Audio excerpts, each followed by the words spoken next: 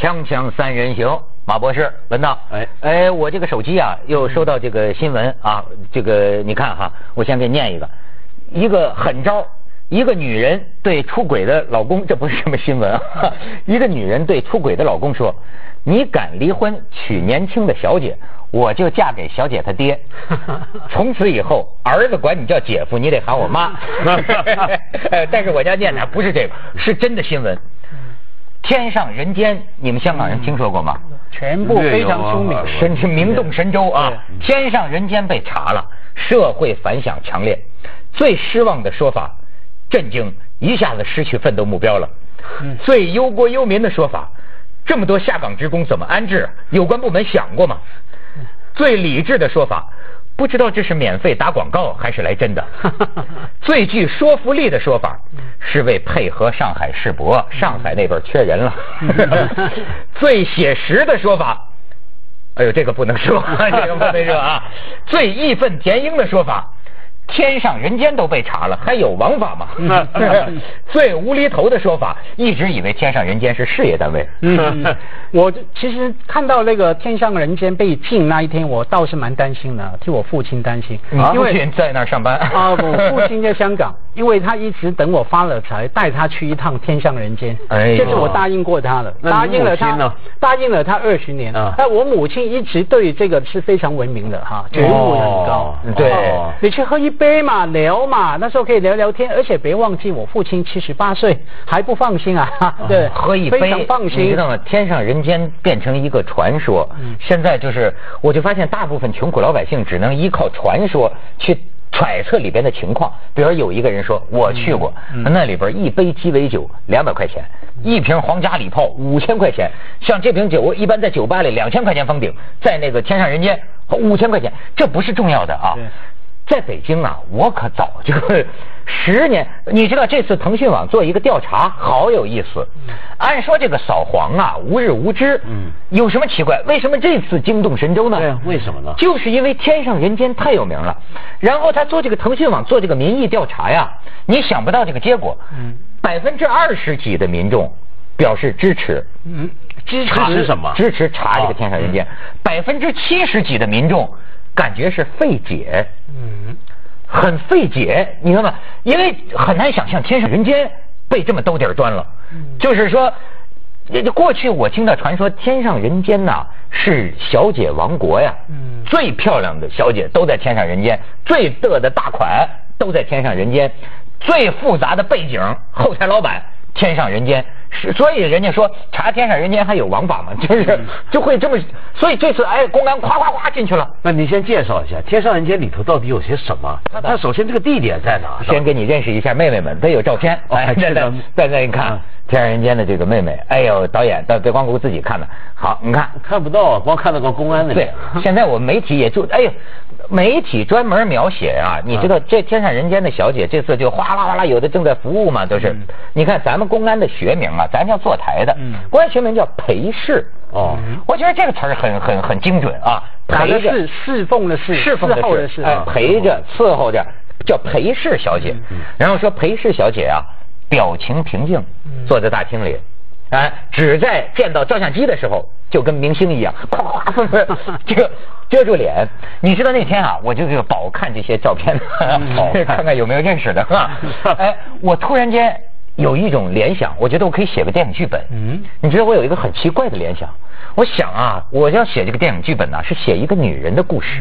就是今天在民警面前低着头坐在沙发上的其中一个小姐，可能到若干年之后，他成了大明星。你觉得我这个好像瞎想是吧？不是，我这从哪儿报道来的？你知道研究生的学历根本不出奇了啊？对，大多是专著名专业艺术院校的学生。嗯，而且现在说孩子是还有校花级的哈，还有校花哈。可是话说回来哈，从法律的角呃角度来看，我不太明白为什么要把它关掉禁掉。就我看到报纸说，它主要是一个空间有。呃，美女，OK，嗯，然后陪你聊天嘛。他的所谓陪你聊天，也不是说收费为了陪你聊天，他是收服务费嘛。然后有人在那边喝酒，从这个角度看，他哪来？一看你这香港人，你这香港人到我们大陆就会被犯错误，你知道吗？我你不了解我们祖国法律吗？有钱有罪吗？漂亮有罪吗？没有罪啊！不准许聊天的现象，这都是属于扫黄的范畴。是。什么你的意思就是说，如果即使没有性交易，陪侍都是陪侍这种女的，这个有偿这个陪陪侍犯不法？我不知道是不是法，反正我这叫黄。反正公安管就总是不对吧？这从从这样说来，我们常来陪你聊天也是可以抓了。那个聊天聊天，你们给钱我们，我们来 陪聊天，陪聊嘛，陪事嘛。见过哪个陪事三人行？你看没？压店了，这是压店了。我我跟你说，他这个，你知道这个？我觉得真是人民币是不是在贬值啊？我就恨的。怎么了？我记得啊，十几年前最早刚刚有这个夜总会坐台小姐，这个时候，那个时候说就像你说。的仅仅就说陪你唱歌喝酒这种啊，就是一百块钱嘛。嗯。现在天上人间，人家说起步就是两三千呢。嗯。是，不是就陪着就给给两三千？那你始终还没回答我那个问题。我在北京，老在北京，我都没注意到他在哪啊？这地方。我跟你说啊，我不告诉你。不，那你说说看里头有些什么呢？不用问，我始终不明白这有什么那么好呢？难道不用我陪喝酒的地方吗？就抓掉了，没办法再去。你就这辈子从来没进过夜总会，旁身边从来没坐过坐台小姐，对吗？我去过一次，那但是问题是，我就从来没有试过那种，就是比如说叫小姐，大家陪聊天呢。呃呃，我我有些朋友，比如说他们会说我们出来谈个事儿，说约去夜总会谈那种，对对对对对。但是我始终不太理解，为什么我们谈个事儿旁边要 叫小姐陪呢？你看文道，文道你提的问题。不，你如果说专门去找小姐，那我反而理解。说我们谈个事儿，没错，旁边有小姐那是干嘛呢？文道提的问题真是英雄所见略同，我正是想谈谈这个问题。这个很奇怪啊，很奇怪，因为我就说公安这个词儿很精准的，叫陪侍，对吧？但是你发现没有，咱也去过外国，嗯，我觉得外国人他是很专门的。你比如说，呃，那个 table dance，呃，跳脱衣舞，你记得吗？或者跳这个钢管舞，我来看，我也看过。而且呢，对，也是有时间的。你给什么十美元、五十美元，OK，他给你那么亮一下，看一下，或者到一个什么小房间这么看一下，呃，十分钟，对吧？它是很有效率，而且专门咱要看这玩意儿就是看这玩意儿，或者呢就是呃卖淫嫖娼，卖淫嫖娼也就是俗称打炮嘛。那那老外就是给钱打炮完完事儿吗？哎，你看哈，我不知道，当然也不止中国，好像东方民族啊，你看是不是？我不知道日本了，反正这个台湾也也是这样。而且是美国也有了，美国也有，美国在那边不。也有也也那种是酒吧，后来也变成卡卡拉 OK 啊，对，酒吧也是去那边，然后也是聊天，聊完天你也要付他的喝酒的费用，也是要给他一个打咱们这个还是有点不一样，嗯，我觉得是不是外国人骨子里啊，他还是一种人格比较独立。对吧？就是即便是性交易，也是平等双方的这么一种交易，或者说聊天也是这么陪聊。咱们那种为什么叫陪侍啊？你知道吗？他是给你一种软软乎乎的这么个东西。你比如说，他也不是跟你聊天，很多时候你见过聊吗？那旁边的小姐，她不跟你，她也不聊，她就在你身边坐着，干嘛呢？呃，依偎着，然后这这跟跟跟你喝酒，你爱跟他聊两句就跟他聊两句，你不跟他聊，你就不跟他就在那坐着，对对吧？我而且我跟你说，我还发现这玩意儿上瘾，就是我见过的，真的就多年泡这种夜总会的人呐。说实在的，就是他玩了十几年之后，我都会发现这些朋友啊。这个上不上床，他都不是特别看重，也不是说最后非要再上床。更难理解了，你你可以上了我我懂，对不对？他就是要几个小时。文道，我觉得说聊天，他们有他们的乐趣哈。我印象很深刻，一次经验，倒不是在夜总会，是在什么呢？深圳一个洗脚的地方啊，做做按摩啊，脚底按摩哈。然后呢？陪聊啊？不，我没聊嘛，我去那边看着报纸，抽着烟，在在休息。旁边坐着一位呃中年女士，那个女士我。看他，我听他讲话，一个小小伙子啊，替他做脚底按摩，做了两个钟头，他整整自言自语，不断跟那个小伙子在聊天，在讲他的家庭的琐碎的事情啊，他丈夫怎么样，他弟弟怎么样，他妹妹怎么样，小孩怎么样，那个小伙子就一边听一边啊，对对对，你看开一点，看开一点，整整讲了两个小时。这种啊，不叫陪聊，只能你算是旁听。不是我聊，我说那那个小伙子啊，就变成那个啊，对，等于是。陪聊了吧？是吗？然后我看那有点是啊。可能他身份是在香港当一个保安员哈，或者说大厦的管理员哈，可能薪水草根阶层嘛，收入不高。坦白讲，平常现实生活里面可能被人家歧视的。人家理都不理他了，甚至看都不看他。现在他付个一百元的按脚底按摩的小费哈的钱，然后有一个小伙子十七八岁、十八九岁哈来一个小伙子听他这样讲，然后我看他离开的时候脸上充满了笑容啊，那一位中年女士哈啊聊美了，对聊聊聊聊聊开心了。锵锵三人行广告之后见。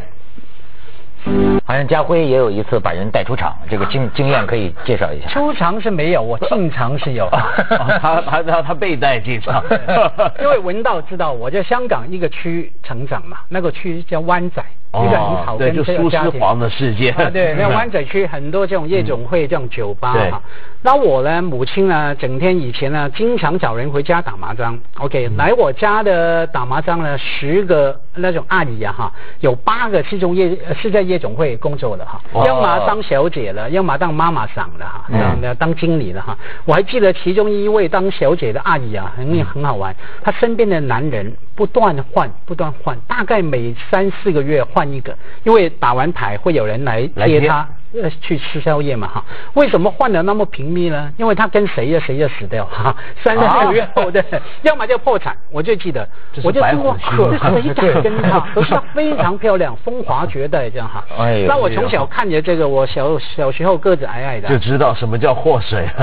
我那时候最记，我最记得哈，看着他们打麻将进在我家门进进出出，我矮矮的抬头看着他们那混圆的屁股等等哈，我那个影像就想着说，我下午。大志啊，长大之后我一定要赚钱，去一趟那他们的店看看是什么模样哈。嗯。那话说回来，一镜头一过，三十年后哈，然后几年前呢，我终于有一次去了。为什么去呢？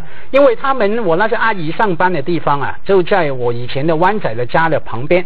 我看到报纸说不得了了，这家真是孟母三迁啊！这家三十三十年的夜总会啊，快要倒闭了。因为已经没人去了，杜老志嘛，啊，杜老志哈，快要倒闭了。这个礼拜五是最后一个晚上，嗯，那我就掌握机会，机会啊，完了，呃，完成我完成我心里的三十年的愿望嘛。嗯他约了几个高中同学就去了哈，结果可能是因为哈最后一个晚上。那一进去了，人山人海，不得了，到处是人，结果都不够分呐！一百个客人，呃，要要客人比小姐还多。对对，一百个客人，他只有二十个小姐，而且连起，你们就给钱客人互相聊，谁陪谁啊？我最我最记得那个真是尴尬，我就跟我那些比较常去这种地方的朋友说，都是这样吗？要排队了，还要排队聊天呢。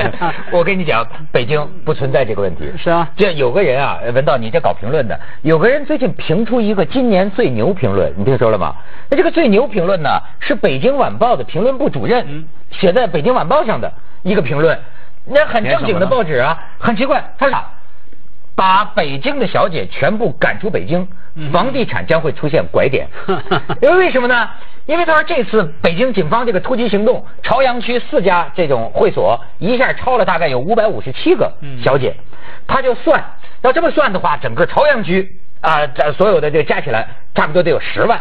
呃，北京什么十十几个这个区县，按此比例计算，反正最后也不知道给他怎么算出来，就是说将近百万，平均这个三个小姐合租一个房子，这就是几十万套房子，在这个租盘，如果把他们全部驱逐出北京，起码房子的这个租租盘。就会下跌，那么下跌之后，很多买房子的需求就会转移向租房子，嗯，这样呢，北京的房市就稳定了，呃，不是就出现拐点，房子就房价就呃跌下来了吗？跌下来了。不过这个其实向来性产业啊，在中国我觉得贡献是很大的。只不过过去我们没有正式去计算。嗯，你比如说，你记不记得呃，过去几年偶尔，比如说南方广东地区哪些城市前阵不是东莞扫黄嘛？每次一扫黄，就有些学者去独立独立的估算，我国西南地区部分贫困这个县市啊，经济就会受到打击。嗯，哦，因为这个钱要汇回去嘛。这出来的小姐的钱汇回去嘛？但问题是我我我一直就是支持性工业合法化，支持，我向来都支持，他赞成，我是赞成的。公安没抓你合法化，我赞成这个，这样还不犯法吧？但是我仍然觉得奇怪的是什么呢？就是说，假如我们国家目前真的把这个当成是个非法行业，严格到一个地步，就哪怕给钱小姐陪聊天都叫犯法。嗯，在这样的情况下，人人都知道北京有一个天上人间。你看这个消息出来是人人都知道的，嗯，怎么就能够在首都首善之区天子脚底就容许这么一个地方常年存在，而从来没有疑问？你你讲的这个，我这是我跟你说，我倒也不敢说我支持这个行业，对吧？嗯。但是我是看事实是怎么样。嗯。我老觉得啊，咱们这个这个这个这个这个主管部门啊，呃，不能光注意那些看得见的东西，嗯你得注意一些看不见的东西。这个东西影响社会啊，可能更要命。为什么啊？我觉得一种现象，你先甭说它好坏。如果说这个现象不好，那你要不你就有本事，真把它铲除干净。你就像建国后中国一度铲除娼妓，那是真的，对啊，对吧？周恩来不是说中国有妓女都在台湾吗？没错啊，这是这是真的铲除。你比如说你背着小姐什么枪毙，那你相信你的？但是你又不能这么弄吧？你不能这么弄。那么事实上就变成，你又要说他不对。可是实际上，你不要说北京了，其他的二三线城市，包括这个县乡镇，咱都不用说，任何人有眼睛都看得见。那么你知道我为什么说你要注意一些看不见的东西啊？就是说，如果你经常性的你提倡的是一回事儿，嗯，可是人们眼里看到的事实是另一回事儿。这个东西啊，我觉得对于这个整个社会的这种怎么说呢？对，这就是道德空气啊，潜规则的胜利嘛。所以你看，为要不然的话，为什么大家会说这还有王法吗？你想看，这表明就大家觉得这个地下王法比你实际的法律还还来的有用。可是倒过来看啊，可能这是一种智慧的表现。像你说。要么就抓，全抓，不要只抓大的，不抓小的，不要嘴巴说抓，可是真的不抓。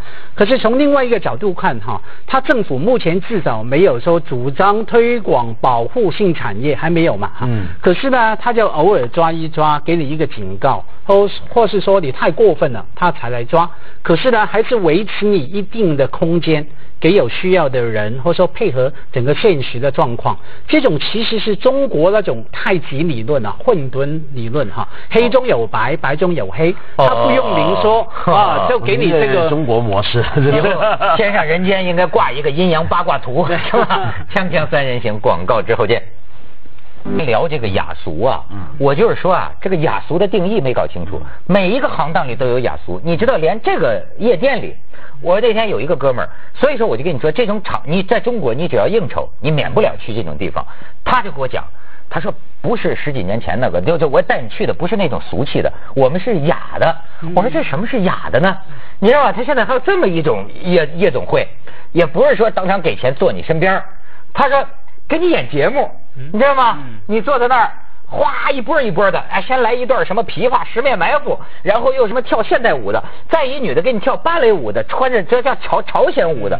他说我跟你说，全是艺术院校的，什么舞蹈系、呃民民乐系，什么什么什么系的学生，这学生也是勤工俭学呀，很好，说一个月能挣几万块钱呢，你知道吗？然后就是说说你看他不像小姐那么俗，呃，你看他演完节目之后啊，哎，你要他陪你喝酒，他也。陪你喝酒，他但是呢，你不能太狼，就说是直接抓他上床，那不可能。他这个呢是个什么调调呢？就是你慢慢的戏，哎，也有可能，呃，没准能跟他，呃，套上戏上还是怎么着？